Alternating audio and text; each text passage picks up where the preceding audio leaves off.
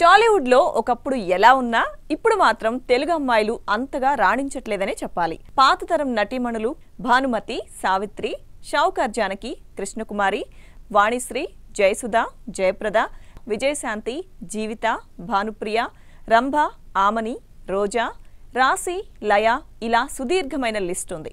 వీరంతా top heroine స్టేటస్ను కూడా ఎంజాయ్ చేశారు. కానీ ఓ రెండు దశాబ్దాలుగా తెలుగు భాషలో టాప్ హీరోయిన్స్ లిస్ట్లో తెలుగు అమ్మాయిలు కనిపించడం మానేశారు. ఒక్క పేరు కూడా ఈ జాబితాలో వినిపించడం లేదు.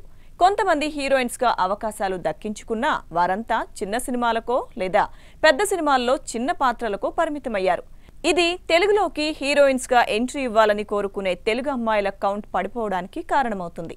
కానీ ఇప్పుడిప్పుడే తెలుగులోకి వస్తున్న అమ్మాయిల కౌంట్ కాసింత పెరుగుతోంది. అపూర్వ శ్రీనివాసన్ పునర్నవి భూపాలం ప్రియాంక జవాల్కర్ రీతు వర్మ అనిషా అంబ్రోస్ ఈషారబ్బా నిహారిక కొణిదెల శోభితా ధూళిపాల శివాని రాజశేఖర్ పూజిత పొన్నాడ.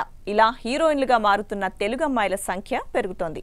ఇంకా కావాల్సిందల్లా వారికి పెద్ద సినిమాలో అవకాశాలు ఇచ్చి ప్రోత్సహించడం మాత్రమే. ఇప్పుడిప్పుడే మీడియం రేంజ్ సినిమాల్లో ఛాన్సులు వస్తుండగా త్వరలో టాప్ హీరోయిన్స్గా కూడా ఎదుగుతారని ఆశిద్దాం.